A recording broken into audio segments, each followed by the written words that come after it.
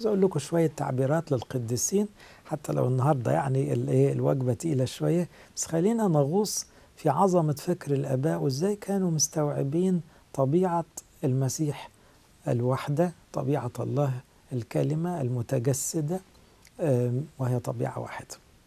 فمثلا باسيليوس الكبير يقول إيه لسنا نقول عن الإبن أنه اثنان ولا نقول اللاهوت منفردا بذاته ولا الناسوت بذاته بل نقول طبيعة واحدة وأقنوم واحد. بطرس لم يذكر طبيعتين حين اعترف وقال المسيح تألم من أجلنا بالجسد دي في رسالة بطرس الأولى. ومن جهة ولادته بالجسد الملاك لما بشر قال ولد لكم اليوم مخلص هو المسيح الرب.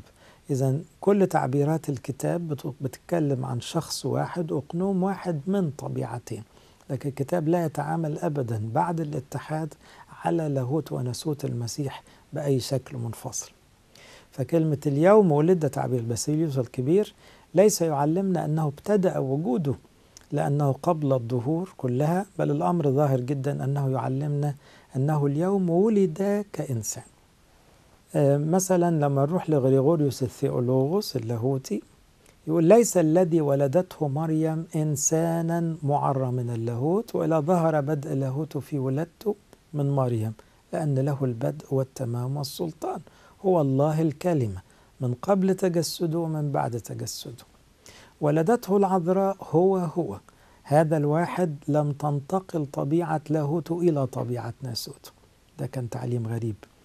ولا طبيعة ناسوته إلى طبيعة لاهوته بل هو أقنوم واحد طبيعة واحدة. سجد له المجوس لأن وحدانية الله الكلمة ليست بعدد طبائع ولا أقانيم. قد ولد من عذراء وحفظ أيضا بتوليتها وعذريتها بلا تغيير لتكون أعجوبة. جعلها صادقة ومهدية لأمانة عظيمة. هو ابن واحد. يبقى الوحيد الجنس ربنا وإلهنا مخلصنا يسوع المسيح طبيعة واحدة وقنوم واحد من طبيعتين. نص آخر مثلا القديس كيرلس الكبير كيرلس السكندري يقول مصاحبة اللاهوت للناسوت لا تؤدي بنا إلى شيء. لأنه بعض الهراطقة ادعوا أنه إيه صاحب اللاهوت الناسوت. لا ما نستخدمش كلمة مصاحبة دي أبدا إنما هو اتحاد واتحاد حقيقي. وكامل لكنه زي بتعبير اتحاد أقنومي فهو أقنوم من طبيعتين لكنه لا يظل في أي انفصال لكن بغير تغيير بغير انقسام بغير اختلاط. لا تؤدي بنا مصاحبة اللاهوت للناسوت إلى شيء بل هي فارغة وبلا قيمة.